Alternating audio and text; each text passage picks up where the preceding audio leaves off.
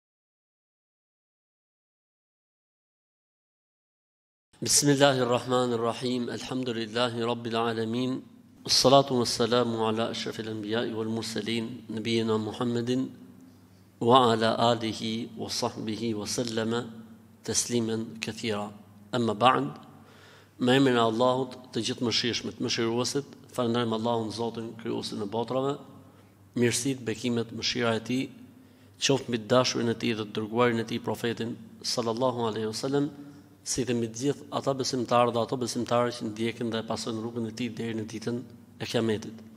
Zoti i bëftë këto takime dhe këto tubime, ashtu siç ka lajmëruar Pejgamberi alejhi salatu ve selam, sa herë që besimtarët tubohen dhe mblidhen për hir të Zotit, për të lexuar Kur'an ose për të përmend Allahun, Mëshira e Zotit derdhet mbi ta, përjetojnë qetësi shpirtërore, rrethohen dhe mbulohen nga melajket, Zoti i përmend atje ku është Ai, e kur çohen nga këto takime dhe tubime, një zë thërret nga qielli, Çohuni, se Zoti ua ka falë gjynahet, të gjitha të këqijat ua ka kthyer në sevape, qofshim ne prej këtyre njerëzve. Amin. Jemi sot, inshallah taala, në udhëtimin tonë drejt botës tjetër drejt ahiretit, kemi folur për vdekjen, në Zotin që të na japë një vdekje të mirë dhe në vepër të mirë, kemi folur për varrin dhe çfarë ndodh në varr, lus Allahun që varret tona të jenë kopshte xheneti. Kemi folur për shenjat e vogla të Kiametit, çfarë ka ndodhur prej tyre dhe çfarë akoma nuk ka ndodhur, dhe kemi folur për shenjat e mëdha të Kiametit, që paralajmërojnë ardhjen e Kiametit, 10 shenjat që i kemi trajtuar dhe me shpresën e Zotit sot do të futemi pikërisht në një procedurë krejt tjetër, në një stacion krejt tjetër prej stacioneve të ahiretit, që është El Qiyame, Qameti, Kiameti, dita e Kiametit. Dita e Kiametit dhe besimi në botën tjetër është esencial, bazik. Pra nuk është diçka që njeriu nëse dëshiron e beson ose nuk e beson. O është besimtar në botën tjetër dhe quhet besimtar, ose nuk është besimtar në botën tjetër dhe nuk quhet besimtar, nuk quhet musliman. Pra një njeri i cili nuk beson se një ditë do të ringjallemi dhe do të dalim përpara Zotit, ai nuk është besimtar musliman, nuk quhet musliman. Edhe nëse i thot vetes musliman, edhe nëse agjëron, edhe nëse fal xhuman. Pa besuar njeriu se një ditë do të ringjallet nga varri do të dali përpara Zotit me dhon llogari, pa e besu këtë fakt, nuk quhet besimtar. Për këtë arsye quhet shart Fil iman, shart, do të thotë kusht për t'u quajtur besimtar. Pra nuk mund të quhesh besimtar nëse nuk beson në botën tjetër. Dhe unë mendoj se një nga problematikat më të mëdha që vuajmë ne si popull, flas për besimtarët, që i thon vetes musliman, është pikërisht kjo temë, kjo pikë. Besimi se ka botë tjetër, besimi se një ditë do të ringjallemi, besimi se një ditë do të dalim përpara Zotit me dhonë llogari. Dhe faktikisht këtu bëhet dhe dallimi. Këtu bëhet dallimi. Këtu bëhet dallimi mes atij që beson Zot dhe atij që nuk beson Zot. Po besove në Zot, nuk është çudi as habi për Zotin ta ngjallë të vdekurin, nëse beson Zot. E nëse njeriu nuk beson Zot, po, është e vërtetë, është e pamundur të ketë ringjalljen. Se pos që Zoti ai që e bën ringjalljen nuk e bëjnë as krimbat, as shkenca, as teknologjia, dhe asgjë. Për këtë arsye është bërë besimi në botën tjetër në Kur'an kusht për të qenë besimtar dhe është bërë mohimi i botës tjetër dhe i ringjalljes argument se je qafir, jo besimtar. Qafir nuk është ofendim, është titull dhe ofiq.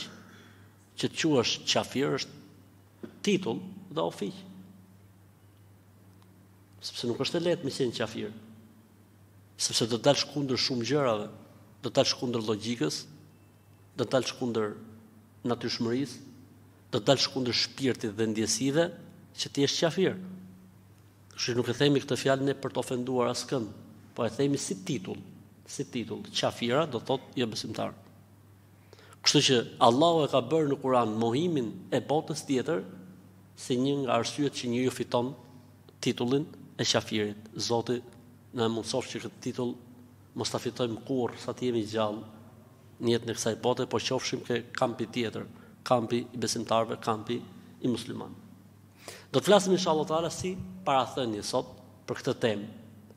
Pra do të trajtojmë fryrjet në sur, do të trajtojmë si ndodh procedura e ringjalljes, do të trajtojmë se si do të fillojnë të tubohen njerëzit, do të trajtojmë pastaj fazat se si do të zhvillohet dita e kiametit, derisa njerëzit të kalojnë urën e siratit, pastaj Besimtarët ndalen për pak kohë në kantare derisa të përfundojnë njerëzit në xhenet, pastaj do të flasim për xhenetin e pastaj për xhehenemin dhe çfarë ndodh në zjarrin e xhehenemit. Zoti na ruajt të gjithë pa përjashtim nga zjarri i xhehenemit dhe na boftë prej banorëve të xhenetit. Atëherë, ajo që do të trajtojmë sot janë dy gjëra. Rëndësia dhe pse i kushtohet rëndësi kësaj teme Dhe do të ndalemi në pikën e fundit në detaje.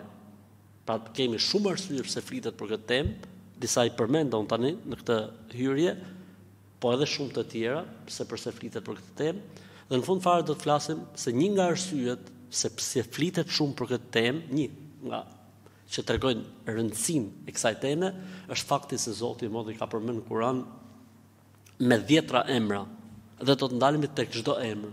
Pse është quajtur dita e Kiametit me këtë emër? Pse është quajtur me këtë emër? Pse është quajtur me këtë emër? Atëherë tham, është e rëndësishme kjo temë sepse Zoti e ka bërë kusht për të qenë besimtar. E tham këtë.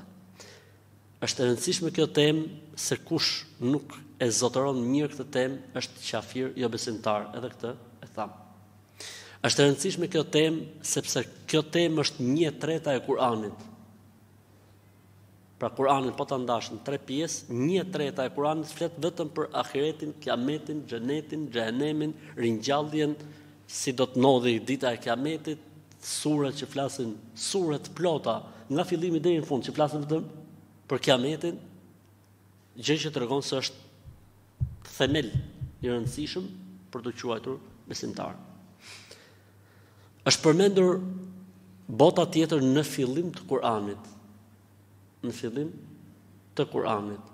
Ku në fillim Kur'anit? Elhamdulillahi Rabbil Alemin, Arrahman, Arrahim, Maliki, Jeumiddin.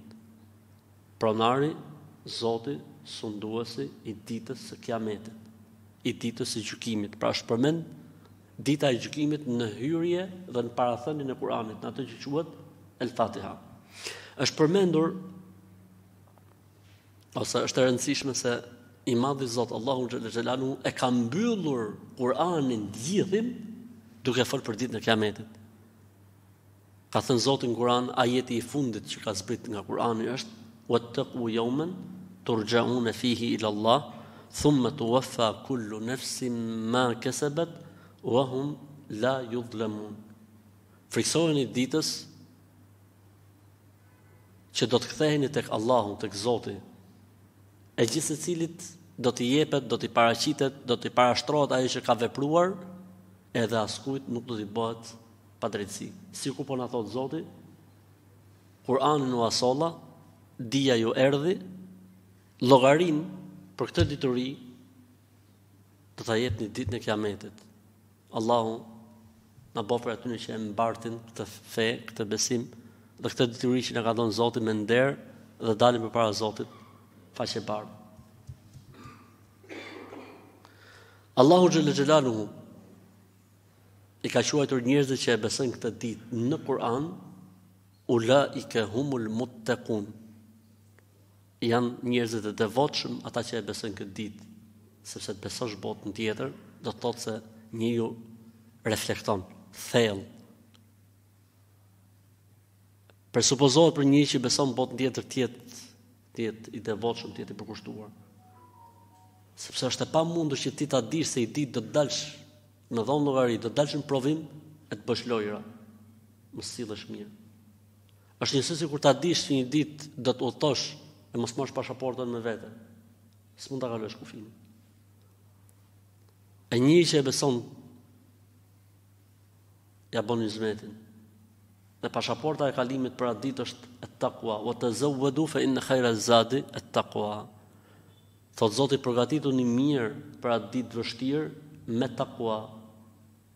Pa zahireja për të kalu vështirësitë e ditës kiametit e ka emrin takua. Allahu xhel-le xhelaluhu I ka quajtur ata njerëz që s'besojnë ahiretin, thotë Zoti fe kad hasire husranen mubina, ka humbur humbjen e madhe. Pra njëri që s'beson botë tjetër është, është i humbur. Është i humbur sepse jeta e kësaj bote për të është shumë e shkurtër, shumë e ngushtë, me shumë brenga dhe halle dhe me pikëpyetje dhe pikëçuditëse, qysh si erdha, pse erdha, po pastaj çfarë do të bëhet me mua dhe si do të jetë fundi im, po a me kaq mbaron gjithçka etj etj. Tani llogarit një që s'beson botë tjetër kur të shkojë në një moshë që fillon dhe e tradhton shneti, e tradhtojnë fuqitë, e tradhtojnë energjitë dhe ai s'beson se ka botë tjetër. Mendo se si i ndodh njëri i cili nuk beson botën tjetër kur i vdes fëmija, ose kur i vdes prindi ose vëllai ose motra. Ndërkohë që besimtari e din që i ditë prap do të takohemi, nuk e kemi humb. Do të takohemi i ditë. Besimtari e di që mund të mbajë lidhje me babën e vet, me nonën, me vëllain, me motrën, me çunin, me gocën që i ka ndrru jetë, edhe pse i ka ndrru jetë. Ndërsa ky shans nuk i jepet atij që nuk e beson botën tjetër, nuk e beson ahiretin. Allahu xhel-le xhelaluhu e ka treguar se besimi në këtë në këtë gjë që beson muslimani, pra që është bota tjetër është esenca e asaj që quhet afrimi dhe distancimi. La texhidu kaumen juminune bil-lahi uel jeumil ahiri juaddune men hadd-Allahe ue Resulehu. Nuk gjen popull që beson Allahun dhe botën tjetër të kenë dashuri ndaj atyre që urrejnë Allahun dhe të dërguarin e tij. A mund ta dush dikë që ta urren babën? S'e do kurrë. Si mund ta dush dikë që urren Zotin? Që mohon Zotin, që mohon pejgamberin alayhi salatu sallam. Themeli bazë i kësaj feje është afrimi dhe distancimi. E kjo ngrihet mbi dy gjëra, besimin në Zot dhe besimin në botën tjetër. Konsiderohet besimi në botën tjetër, pra në në ditën e ringjalljes, në ditën e ringjalljes si një moment këshillimi i pandarë për njeriun në raport me gjërat që Zoti ka urdhëruar dhe në raport me gjërat që Zoti ka ndaluar.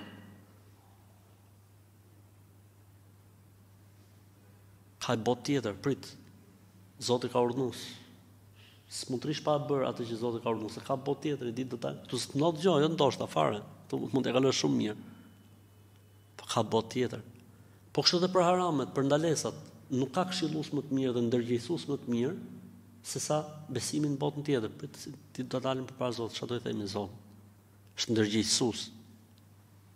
Për këtë arsye Allahu xhalla xhelalu kur urdhëron në Kur'an i kujton njerëzit me xhenetin, me xhehenemin, Kur ndalon i kujton njerëzit me xhehenemin, i kujton njerëzit me azabin, me dënimin e tij, pra që njerëzit të jenë të vetëdijshëm se ndoshta kalojnë lehtë në këtë botë, ndoshta s'u ndodh asigjo në këtë botë, po kjo nuk do të thotë se ja kanë hedh Zotit.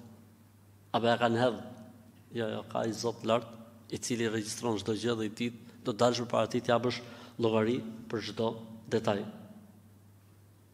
Konsiderohet besimi në botën tjetër një nga, le të themi, nxitësit më të mëdhenj të njeriut për të qenë pasues i profetëve në përgjithësi dhe pasues i pejgamberit alayhis salam në veçanti.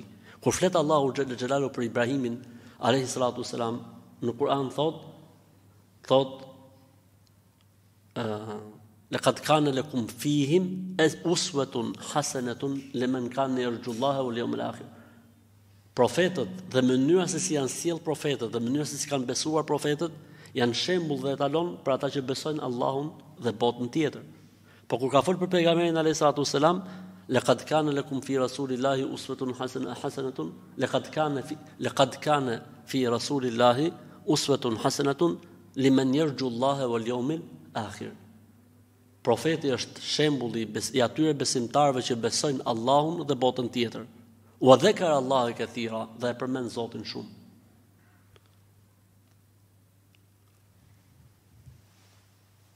E rëndësishme kjo temë sepse, si me thënë, nuk pranohen veprat dhe nuk mund të shkojë njeriu në sinqeritetin e pastër po s'qe i kthjellët për këtë temë.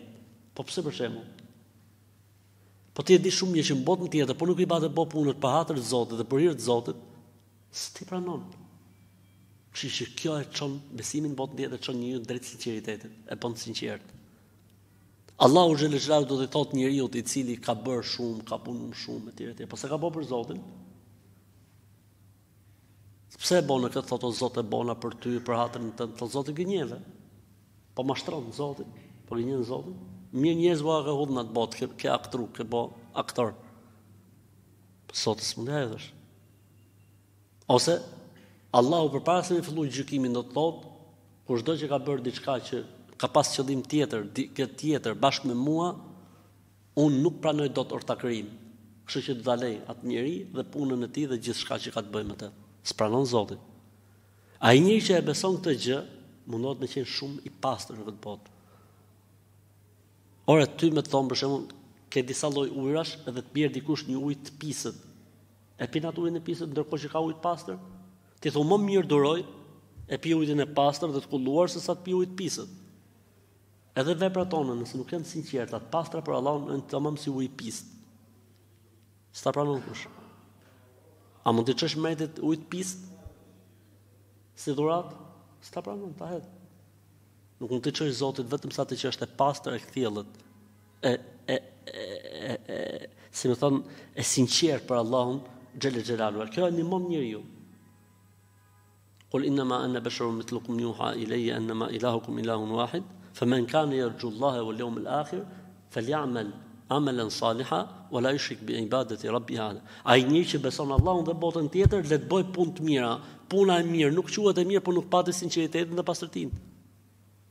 Ama e lidhi Zoti me kë? E lidhi me botën tjetër.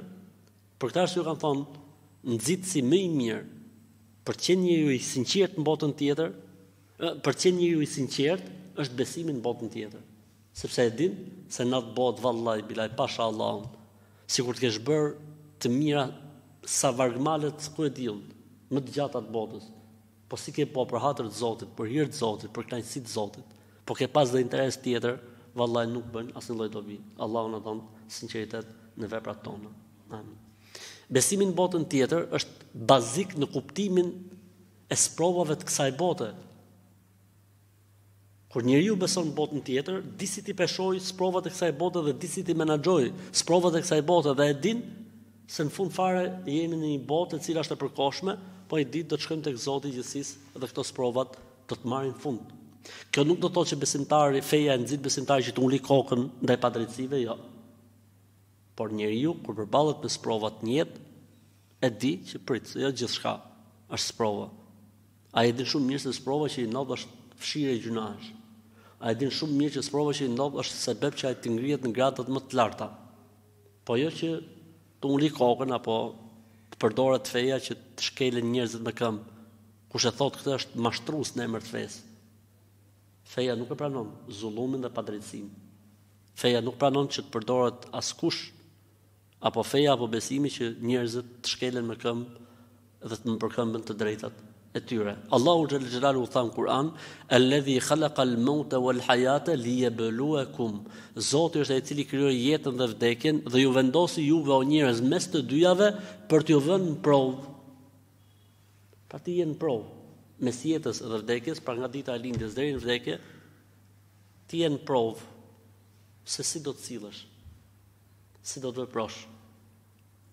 Ai njeri që e beson, shumë më i kujdesshëm sa njeri tjetër i cili nuk e beson. Është e rëndësishme kjo temë o vllezër dhe ka të rëndësinë vetë sepse njeri që beson botën tjetër, po ta këshillosh, këshillohet kollaj. Ke shumë të lehtë me këshillu njeri që është i lidhë me botën tjetër. Dhalike ju adhu bihi men kane juminu billahi wal jomil akhir. Kështu këshillohet ai njeri që beson Allahun dhe botën tjetër. Kështu këshillohet ai njeri që beson. Domethonë njeri i cili beson Allahun, beson botën tjetër, e ke shumë të lehtë me i thonë o vla. Kjo gjë që po bën ti është pa argument, mos e bëj. A i beson se ka botë tjetër, do dalë para Zotit, do ta takojë një ditë pejgamerin alejhi selam. Ça do i thot? Si do i thot? Nuk e bon, kurrë.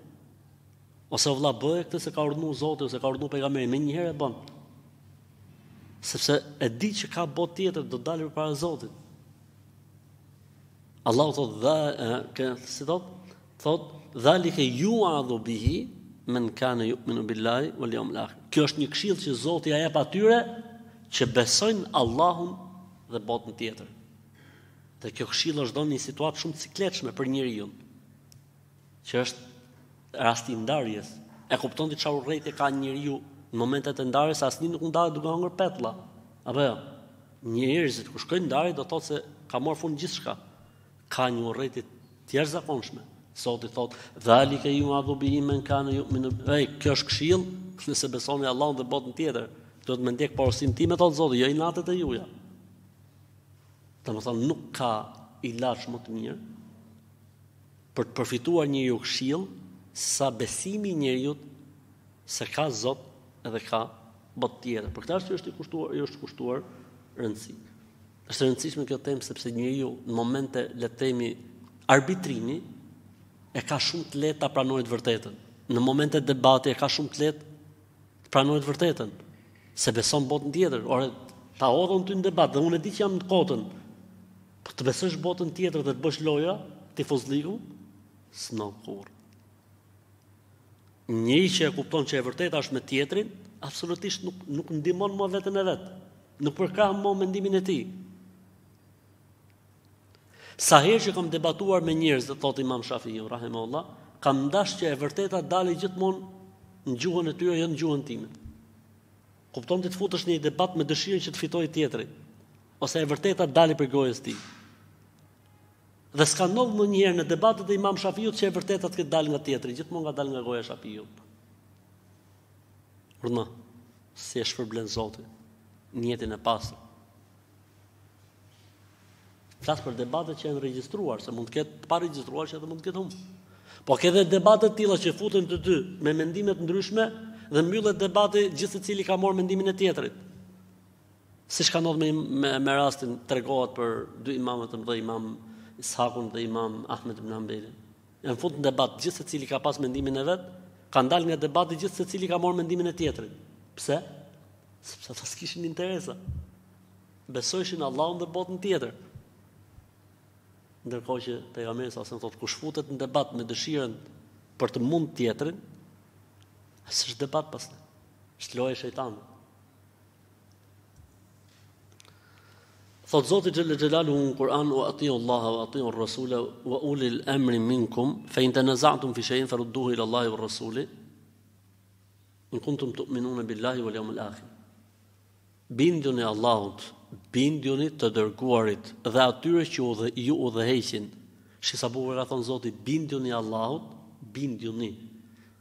Bindjuni të Dërguarit, kur ka thënë udhëheqësit, ka thënë dhe udhëheqësve, nuk ka thënë bindjuni udhëheqësve, se udhëheqësi mund të jetë i çmend.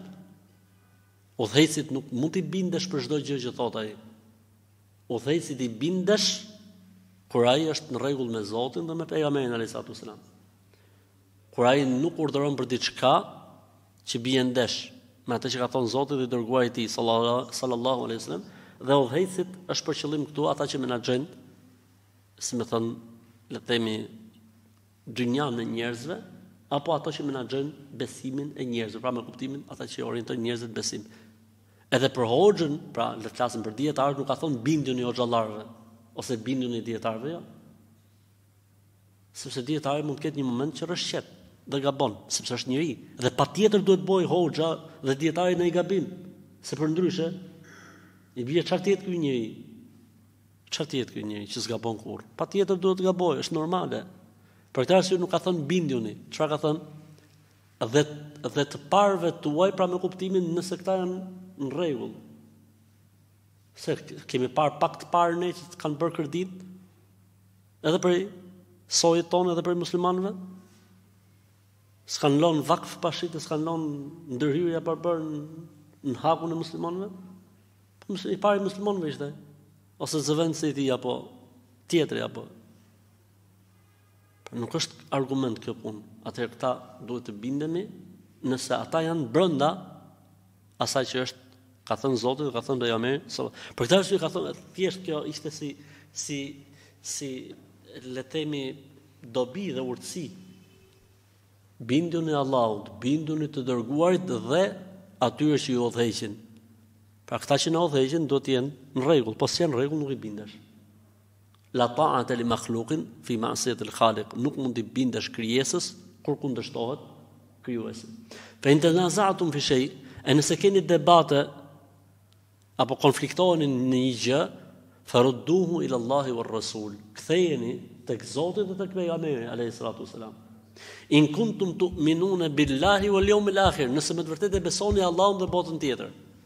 E po të jesh besimtar, të kesh një debat me një besimtar, të kesh një konflikt me besimtar dhe mos gjesh zgjidhje ke feja e Zotit, themi ne katunaria e Tiranës, qofsh ti që je.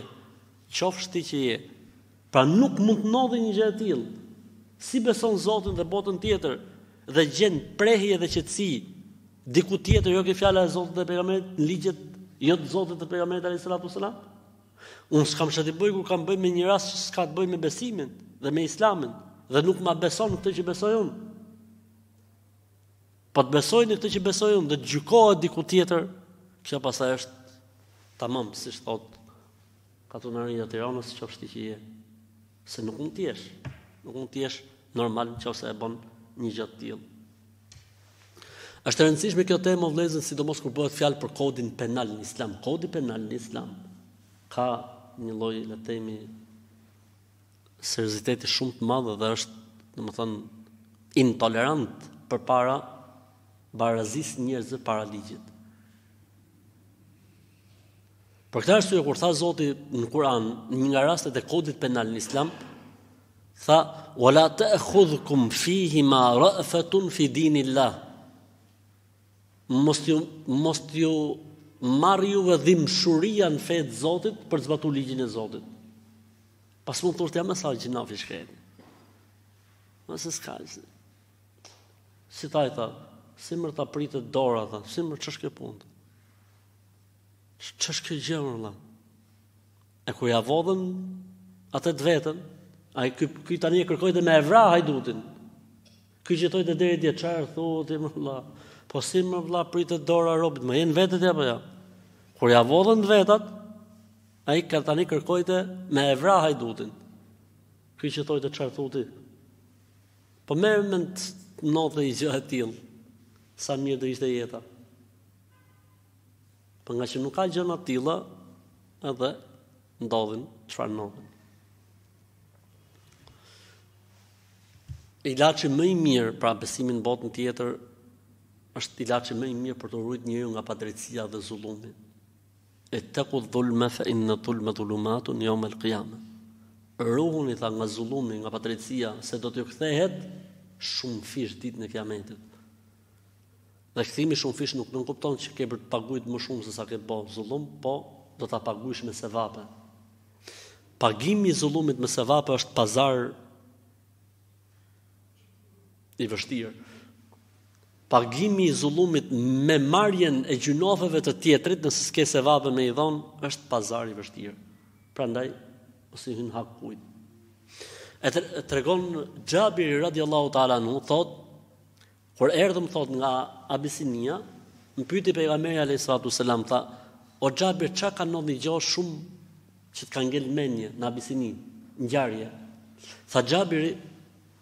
Ishim një ditë tha unë, edhe një grue plakë tha, po ecte dhe kishte një shtomë ujti në kokë, edhe po ecte.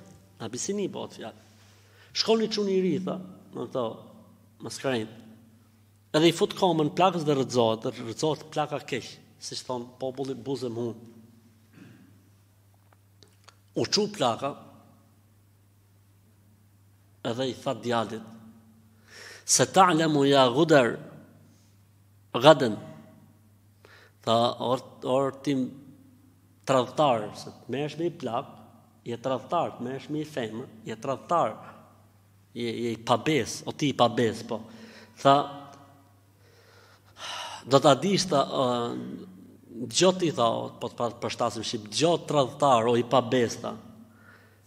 Se ta'lemu, do ta dish, tha, idha wada'a Allahu al-kursiyy, kur të vendosi Zoti fronin. Për kë po fliste plaka tani? Ditën e Kiametit.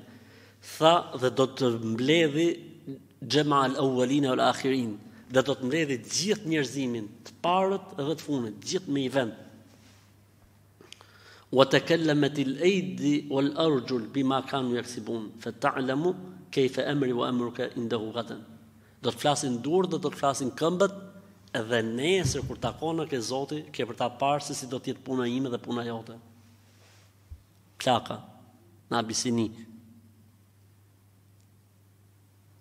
Tha pejgamberi salallahu alejhi sellem, një fjalë, sadakat, sadakat, ka thonë vërtetën, ka thonë drejtën. Kejfe, jukaddisu Allahu umeten, la jukhadhu li dhaifihim, min shedidihim. Nuk mund ta lartësojë Zoti një popull, në qoftë se nuk shkon e drejta në vend, kur i bëhet padrejtësi shtresës së ulët, prej atyre që konsiderohen shtresë e lartë. Nuk mund të ketë hajër në një vend ku nuk merret haku për shtresat e ulta nga shtresat e larta. Dhe s'ka turp më të madh sesa të zbatohet ligji për shtresat e ulta dhe të shpëtojnë prej ligjit ata që janë shtresat e larta. Për këtë arsye, kur ndodhi në kohën e pejgamberit alayhi salatu wasalam që një grua mekase quhej Fatime, E kjo Fatimja ju merrte stolitë femrave dhe nuk ua kthente të plota. Ua merrte nuk ua kthente të plota, ua merrte nuk ua kthente të plota dhe këtë e bënte rregullisht. Dhe fillun njerëzit të ankohen dhe vjen situata për gjykim tek pejgamberi alayhi salatu wasalam. Dhe normalisht ligji i Islamit dihet për hajdutin. Ça bëjnë sahabët ose njerëzit? Kush ishte, cili ishte prej sahabëve pika e dobët e pejgamberit sa? Ka pas një njeri pejgamberi sasem që ka qenë pika e tij e dobët. Kush ka qenë ai? Zeid ose Usama, biri i tij. Edhe e fusin Usamën, që pejgamberi sasem e kishte pikë të dobët. Si ndërmjetësues. Që t'i thonë Pejgamberit që mos t'ja presi se ishte aristokrate. Këto aristokratët, këto të fikin derën. Këto që janë lartë shumë. Këto të fikin derën. I tha, e çon muabetit, muabetin Pejgamberit alayhi salatu wasalam që ta shpëtonte Fatimen prej ligjit, prej dënimit. Dhe pejgamberi salallahu alejhi ve selem tha fjalën e tij që mbeti në histori, mbeti e shkruar në histori. Tha pasha Zotin që ka në dorë shpirtin e Muhamedit sallallahu alaihi wasallam. Nëse Fatimeja, bija e Muhamedit do të kishte vjedh, kam pas për t'ia pre dorën unë vetë. Nuk mund të ketë bekim, nuk mund të ketë lartësim, nuk mund të ketë shenjtërim të një populli në qoftë se nuk merret haku i të dobtit nga ai që është i fortë i shtresave të ulta nga ato që quhen gjoja shtresa të larta. Kjo është feja e Zotit. Allahu xhel-le xhelaluhu shumë herë në Kur'an bën krahasim mes dynjas dhe ahiretit që njerëzit të kuptojnë se nuk ia vlen nuk ia vlen që njeriu Të fitoj dynjanë për të humbë ahiretin. Shumë kemi disa raste në Kur'an që Zoti i Madh e qun jetën e kësaj bote lojë tallje si diçka koti dhe e qun ahiretin në të njëjtin ajet wal akhiratu lahi al hayawanu law kanu ya'lamun ahireti është jeta e vërtet sikur ta dini njerëzit se ç'është ahireti Allahu xhallal xhelaluhu bën krahasim në Kur'an për sa i përket kohës. Thot Zoti në Kur'an: "Fa ma mata'u al-hayati ad-dunya fi al-akhirati illa qalil." Jeta e kësaj bote në krahasim me ahiretin është Pak shumë. Për këtë arsye kur do të ringjallen njerëzit ditën e Kiametit, çfarë do të thonë? Ma le bithna gajra sa.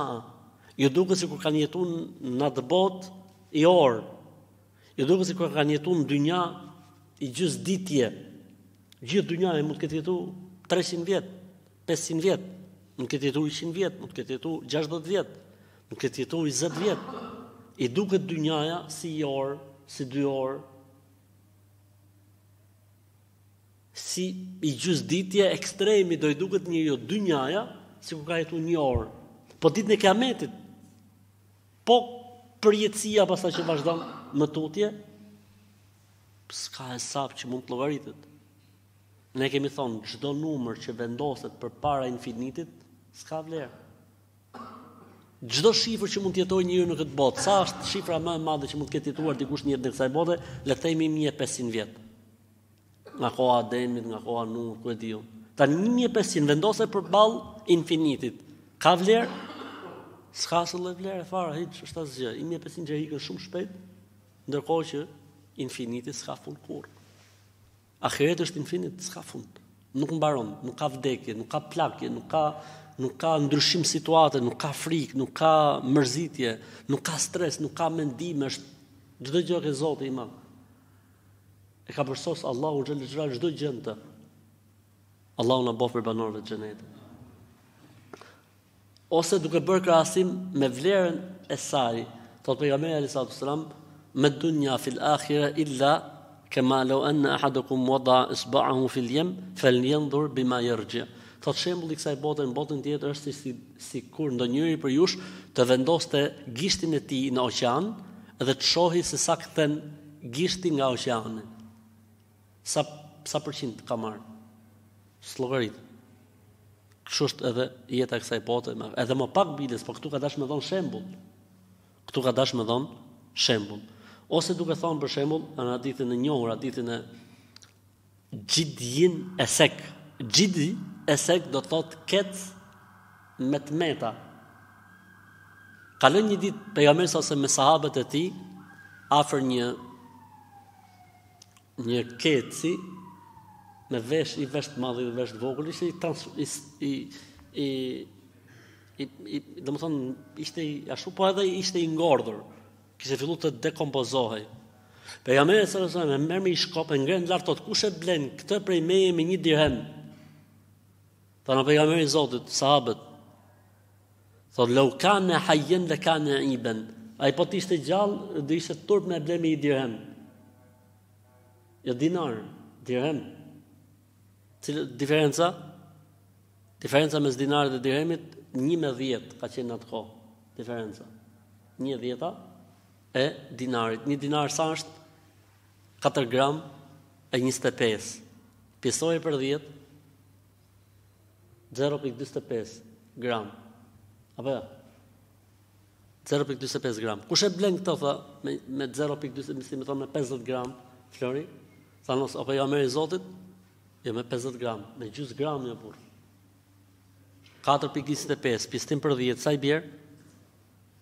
Zero pikë dyzet e dy pikë pesë. Kush e blen tha këtë me këtë çmim? Tha o pejgamber i Zotit, tha të ishte gjallë s'e blente njeri, jo më tani tha që ka ngordh. Tha pejgamberi alejhi selam, pasha Zotin dynjaja s'ka vlerë ke Zoti, as sa ky i ngordhmi, jo ai gjalli, po të ishte gjallë. As sa ky i ngordhmi, s'ka asnjë vlerë. Për këtë arsye tha, inna Allah hadithi tjetër, inna Allah yu'ti dunya man ahabba wa man lam yuhib. Allahu këtë botë ia jep atyre që i do dhe atyre që nuk i don. Qafir, kokrra qafirit, ai mund të jetë, o zoti më, s'i mungon asnji gjo. Wa la yu'ti al imana wal akhirata illa liman ahab. E Zoti nuk e jep besimin dhe ahiretin vetëm sa atyre njerëzve që i do fort. Allahu na bëftë prej këtyre njerëzve. Po ne nuk përjashtojmë faktin, ha, na japi edhe në këtë botë. Rabbana atina fid dunya hasana wa fil akhirati hasana wa qina adhaban nar. O Zot na jep mirë në këtë botë, mirë në botën tjetër, e na ruaj Zot prej dënimit të xhehenemit.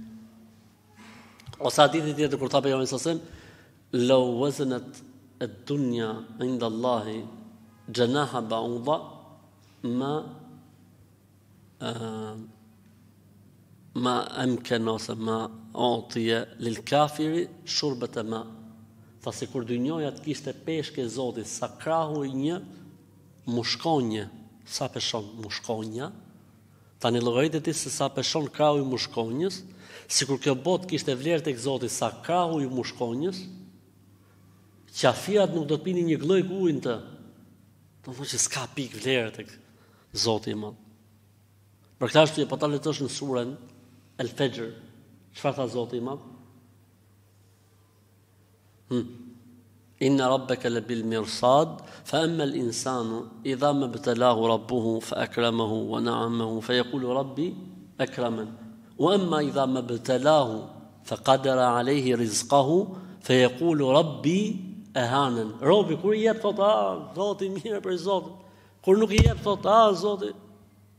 Or zotni nuk është dynjaja kriter dallues se ça pozite ke ke zoti. Harroje. Jo po se qafiri ai mund të ketë, or zotni. Ti do të çar jep zoti dhe çar ka përgatitur zoti, apo do të shofësh edhe do të t'i masësh, masësh gjërat me me peshoret e kësaj bote. Nëse i mat me peshoret e kësaj bote, ente ue shanuk, vazhdo, është puna jote. Ke zoti gjërat nuk maten me peshoret e kësaj bote. Iman edhe ahiret. Kjo është dhurata më e madhe që jep njeriut Allahu në jetën e kësaj bote, se të gjitha gjërat njeriu ka për t'i lënë. Dhe asnjëri nuk ka marrë gjë me vete. Edhe ata që i kanë marrë me vete, thjesht kanë, janë fut në varr ato gjërat, se s'i kanë gëzuar dot. Pra i kanë marrë ndoshta deri në varr, po s'i kanë gëzu, kanë mbet kot. Vëllezër, kjo është temë e rëndësishme se pejgamberi alejhi selam kur përmendej ahireti, kur lexonte për ahiretin, ndryshonte ndryshonte përjetimi i tij ndaj gjërave. Për shembull, lidhej në namaz dhe lexonte Kur'an. Kur kalonte ose kur lexonte ajetet e ahiretit, ai ndryshonte. Qante. Lexonte ajete që flasin për ahiretin që s'kanë bën fare me të, me pejgamber të tjerë e përjetonte, ndalonte. Sa plotsonte të gjithë natën me një ajet kuranor. Cili është ajeti kuranor? In tu'adhibhum fa innahum ibaduk. Wa in taghfir lahum fa anta fa innaka anta El Azizul Hakim, o Zot, nëse i dënon, janë robët e tu. E nëse i fal, ti je i gjithëpushtetshëm dhe je i urti. Po kjo ajet dhe kjo fjalë nuk është fjala e pejgamberit alayhis salam, është fjala e kujt? E Isait alayhis salam. Kjo është fjala që do thotë Isai ditën e Kiametit alayhis salatu wassalam, kur do t'i thotë Zoti ja Isa ibn Maryam, ente qulta lin nas ittakhidhuni Wa ummiya ilahayni min dunillah, O Isa, biri i Merjemes, ti ju ke thënë njerëzve që m'bëni mua Zot dhe nënën time përveç Zotit? Pra na konsideroni edhe neve Zot me Allahun? Isa alejhi selam çfarë do të thotë, Subhanek, i dliri je ti nga çdo e metë o Zotim, si mund ta them unë diçka që nuk është e vërtetë?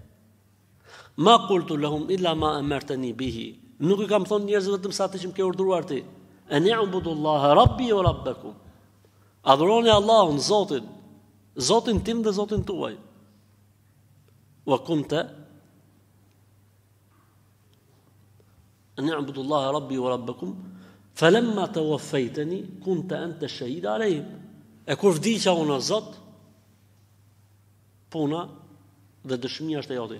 In tu adhibhum, nëse i dënon këta që m'kanë adhru mu si Zot përveç Allahut, përveç teje, m'kanë bo Zot bashkë me ty, nëse i dënon janë rob të tu, nëse i fal ti për gjithçka je i plotfuqishëm dhe i urtë.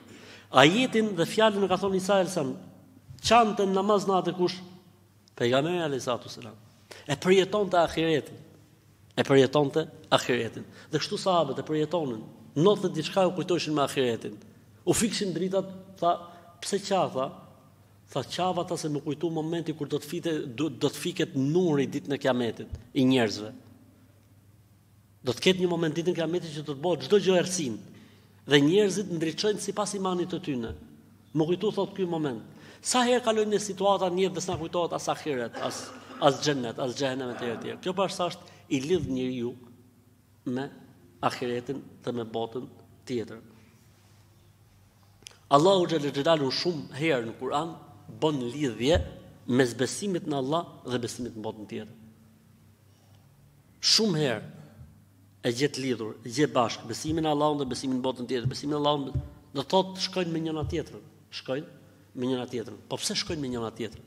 Një njeri i cili beson Zot dhe Zoti ka sjell rregulla dhe ligje e të tjera e të tjera, nuk mund të jetë puna njësoj si për atë që i bindet dhe për atë që s'i bindet. Si për atë që përkushtohet dhe si për atë që i kthen shpinën, nuk mund të jetë njësoj. Ç'është ky film i padrejtë që mbyllet gjithmonë pa ditë se si do të vazhdojë? E fe nexh'alul muslimine kel muxhrimin, ma lekum kefe tahkumun, si tha, ore, o njerëz, tha Zoti n'Kuran, o njerëz, do t'i bëjmë dhe do t'i trajtojmë muslimanët si kriminelët, Si gjykoni ju kështu? Si ka mundësi që i miri vdes dhe i keqi vdes? Po s'ka maru filmi pra. Nuk është mbyll akoma. Ça do të ndodhi me këtë që boni mirë gjithë jetën mor vlla? E çfarë mund ndodhi me këtë që s'la t'keqe pa bo? Çfarë ndodhi? Çfarë do të ndodhi? Vdiqën të dy, po s'është pra normale kjo punë. S'është normale, do të vazhdojë muhabeti. I miri do të shpërblet, i keqi do të vuj në zjarr t'xhehenemit. Shumë gjona pejgamberi salallahu alejhi ve selem kur i urdhonte shokët e vet, thoshte kush e beson Allahun dhe botën tjetër, ai që me të vërtetë e beson Allahun dhe botën tjetër, cilido që e beson Allahun dhe botën tjetër, pastaj ipte cilësitë e atij njeriu që beson Allahun edhe botën tjetër. Mirë vëllezër.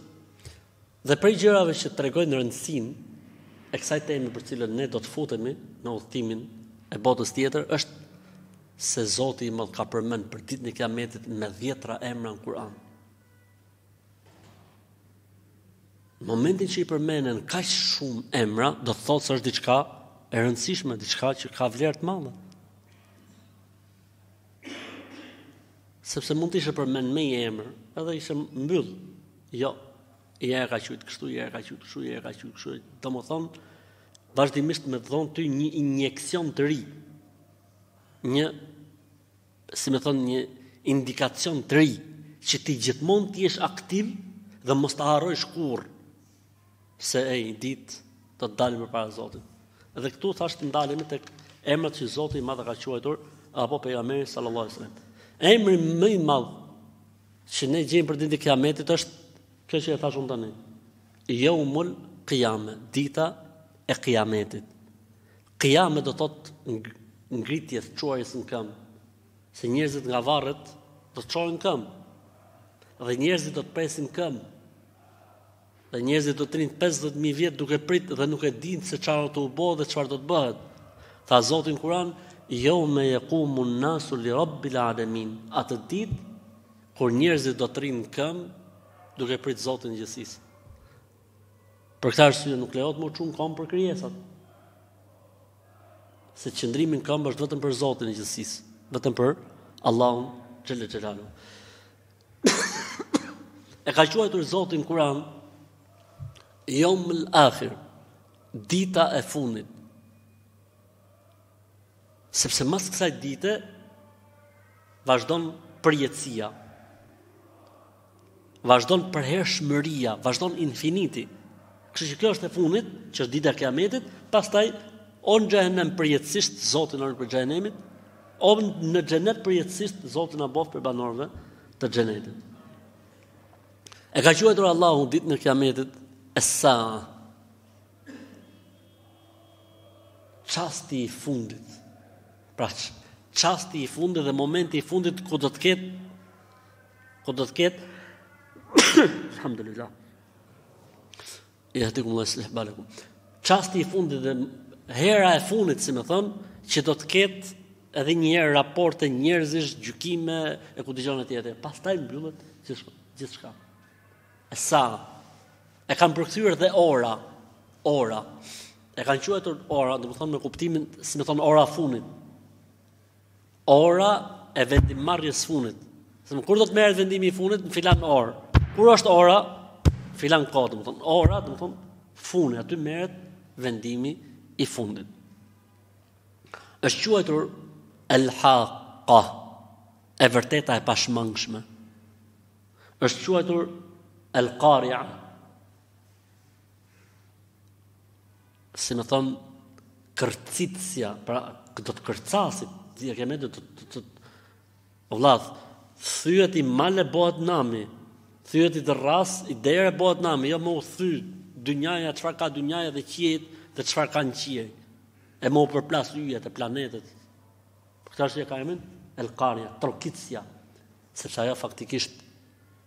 Duhet të trokasin zemrat e njerëzve përpara se të trokasi në univers. Dhe duhet të përgatisi njerëzit përpara se të ndodhi gjithçka. Është quajtur Jeumul Xhem', dita e grumbullimit të madh. Dita e bashkimit të madh, aty do të mblidhen të gjithë. Si tha ajo plaka?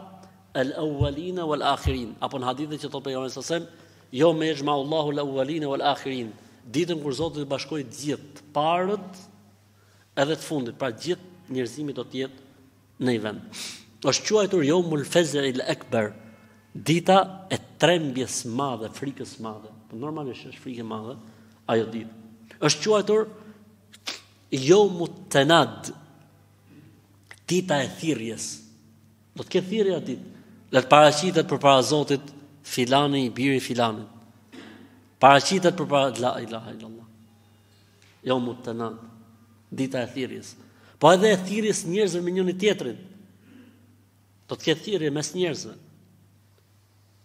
për haqet, për hakun, për ti u bone sebep për mu, jo po unë s'kam pas faj, jeumut tenad. Është quajtur gjithashtu jeumul vaid, jeum el vaid dita e ndëshkimit sepse me të vërtetë qysh aty fillon Allahu na ruajt, është quajtur jeumul hasre dita e Keqardhjes së madhe. Po normalisht kur ta shofi njeriu se për çfarë ka sakrifikuar dhe ka humbur ahiretin, ndjen keqardhje të madhe. Vetëm një zhytje do të bëjë dikush në xhenet më i vuajturi besimtar i jetës kësaj bote. Vetëm një zhytje, nuk e la Zoti në xhenet i minut, 2 minuta, i orë, 2 orë, e zhyti vetëm një herë dhe e nxorri jashtë. Tha o robi im, a ke kalu naj të keqe gjatë gjithë jetës tate, thotë, pasha madhninë tonde o Zot im, betohem në ty o Allah, se s'kam kalu naj të keqe gjatë gjithë jetës time. Një zhytje. E kur të zhytet ky qafiri, ky që mezor e ka fitu titullin e qafirit në këtë botë, Njeriu më i begatuar në këtë botë prej jobesimtarëve. Një zhytje në zjarr xhehenemit dhe e nxjerr Zoti, nuk e la asnjë minutë, asnjë orë, as 10 orë, vetëm një zhytje para njerëzve, para se të fillojë gjithçka. Thotë o robi im, a ke kalu naj të mirë gjatë gjithë jetës tate? Ai betohet në Zot thot pasha madhninë tënde Allah thot pasha Zotin o Zoti im, pra i betohet Zotit në Zot se s'kam kalu naj të mirë në jetën time. I harroj të gjitha me i zhytje. Prandaj na ja vlen. Për këtë arsye quhet Jeumul Hasra, dita e keqardhjes, dita e pikëllimit të madh. Sepse njeriu do të kuptojë se çfarë do t'i thotë Zoti dikujt ditën e Kiametit, o robi im, thot po Zot. Prej xhehenemlive. O robi im, po, thotë Zot. Nëse do të ishte për ty dynjaja e gjitha flori, edhe do të vite ty momenti që do të thuheshe, jipe dynjan flori komplet. Sa peshon toka flori? Jipe për të shpëtu prej zjarrit xhehenemit. A do ta bojshe? Tha po, Zot, do ta bojsha. Po tha Zoti, unë kam kërku prej teje shumë më pak se sa kjo. Kam kërkuar prej teje të m'adhurosh mua një të vetëm, mos të më bosh shok.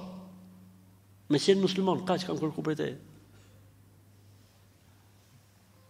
Është quajtur Jeumu Telak, dita e takimit, po do të takohemi, Allahu na boftë që takohemi me pejgamerin alejhi salatu selam, me sahabët, me pejgamerët e Zotit, dhe çfarë kënaqësie, eh? Allahu na boftë prej këtyne njerëzve. Po do të jetë dhe dita e takimit me ata të tjerët, Sepse njeriu do të ringjallet me ata që ka dash fort. Varet se kë don njeriu në këtë botë dhe ku e klasifikon veten në këtë botë. Siç je ti në këtë botë, kë do në këtë botë, ke për ta taku ditën e Kiametit. Allahu na boftë prej atyne që dun besimtarët. Është quajtur Jeumul Fasl, dita e si me thonë, e ndarjes gjërave. Atë ditë do të ndahen gjërat, nuk ka. Nuk është si në këtë botë, të duket si besimtar mrena është i zi. Të duket si i pakap me fen mrena mund të jetë xhevahir. Duket si i pavlefshëm mrena mund të jetë tek Allahu më i vlefshëm se gjysma e botës e çfarë ka në të. At ditë jufsal kullu shej. At ditë, me thonë ka fasl, at ditë ndahen gjonat me precizitet, siç meritojnë për jobesimtarët dhe me mëshirën e Zotit për besimtarët. Është quajtur në Kur'an Jeumul Huruxh, Dita e Daljes, pra njerëzit do të dalin nga varret e tyre për dhënë llogari përpara Zotit. Është quajtur në Kur'an Yawmul Khulud, dita e përjetshmërisë. Qysh aty fillon përjetshmëria. Është quajtur Yawmun Adhim, ditë e madhe, madhështore, sepse do të shkojnë gjërat në vendin e vet. Do shkojnë gjërat në vendin e vet. Është quajtur Yomun Asir, ditë e vështirë, sepse do ta shohim ne kur do të flasim për procedurat dhe stacionet dhe zhvillimet e ditës Kiametit kanë ato procedura tepër të vështira. Është quajtur Yomun Meshhud, dita që është e prezantuar nga Zoti, nga melajket, nga pejgamberët. Pra është ditë e dëshmuar, nuk është ditë kështu Ditë e zakonshme kjo ditë. Është quajtur Yawman Abusan Qamtarira. Ditë e vranët dhe e zymtë, sepse me të vërtetë ashtu do të jetë kiameti, nuk është kiameti me lule dhe me trëndafila. Përveç se për besimtarët, për besimtarët po. Është quajtur la raiba fi, dita për cilën nuk ka dyshim. Është quajtur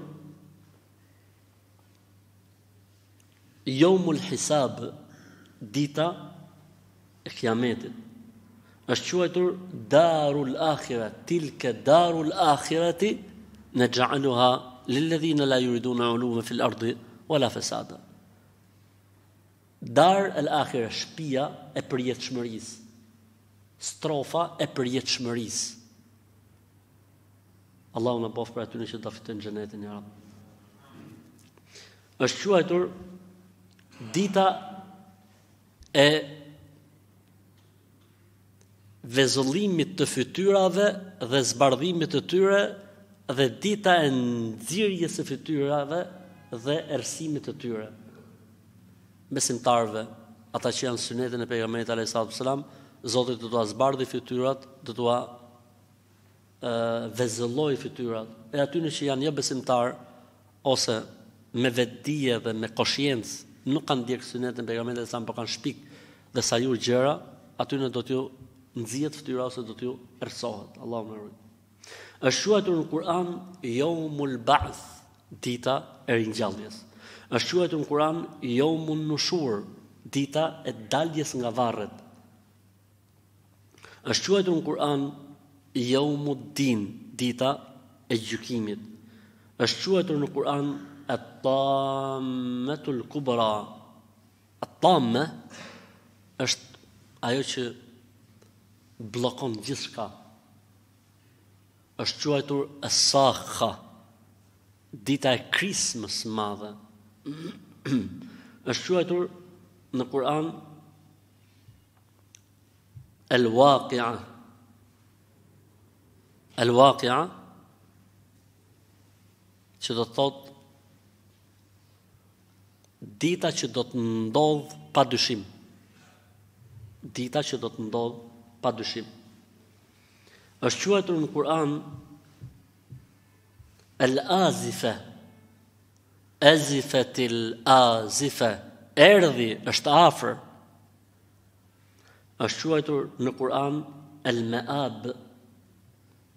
El-Meab dita e kthimit. Pra Atë ditë do të kthehen të gjithë dhe do të dalin përpara Zotit xhelle xhelaluhu. Është quajtur në Kur'an al-khafidatu rafi'a. Dita kur ngrihen dhe ulen njerëzit, pra ku vlerësohen ose zhvlerësohen. Është quajtur në Kur'an Ar-Rajife, Ar-Radife, dita e tronditjes, dita e shkundjes, është quajtur Jeumul Ba'thira, dita e ringjalljes ose dita e daljes nga varret, është quajtur El Miqat. dita e takimit. Të gjitha këto faktikisht japin ose plotësojnë panoramën e ditës së Kiametit. Gjithë këto emra që janë përmendur për ditën e Kiametit ty tregojnë ndodhitë e ditës së Kiametit. Për këtë arsye, domethënë, në momentin që Zoti i Madh i jep kaq shumë emra, i jep kaq shumë cilësime, do të thotë se njerëzit duhet përgatiten për të. Edhe ne që jemi këtu që i ngjojmë këto fjalë, edhe ata që po na ndjekin këto momente, duhet m'u përgatit për këtë ditë. E përgatitja më e mirë thotë Allahu është et-takua, me qenë i devotshëm. E ça do të thotë? Me qenë i devotshëm. Do të thotë Mos t'i humbësh Zotit nga vendi ku të kërkon e mos të të gjejë kurrë në vendin ku të ndalon. Mos t'i mungosh Zotit aty ku të kërkon e mos të jesh aty ku s'të don. Ose do të thotë të besosh atë që Zoti ka zbrit. Të besosh atë që Zoti ka zbrit. Të përgatitesh për ditën e emigrimit nga kjo botë, pra të përgatitesh për vdekjen. Të punosh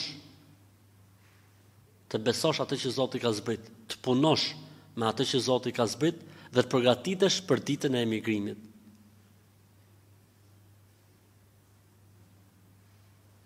do të thotë që njeriu mos t'i hynë hak askujt.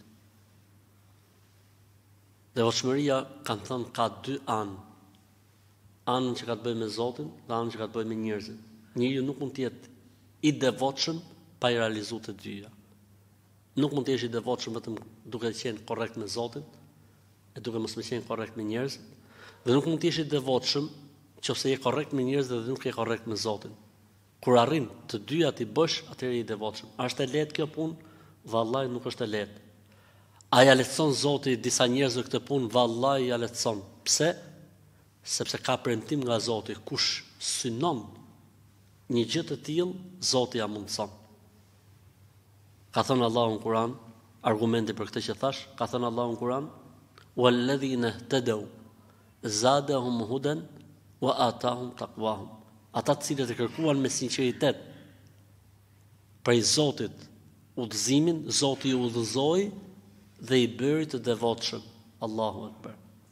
Mjafton që t'ia kërkosh Zotit me sinqeritet, Zoti ta jep, po jo vetëm që ta jep, po edhe të mundëson Allahu që të jesh prej njerëzve të devotshëm. Zoti na bëftë prej këtyre njerëzve. Amin. Subhanak Allahumma wa bihamdik nashhadu an la ilaha illa ant nastaghfiruka wa natubu ilaik. Zoti ju shpërbleftë me të mirë. Inshallah taala javën tjetër do të jemi me temën e parë që ka të bëjë me zhvillimet e botës tjetër që është Fryrja në sur, Allahu na ndihmoftë. Amin. Qoftë se jemi gjallë, në qoftë se jemi këtu gjithmonë.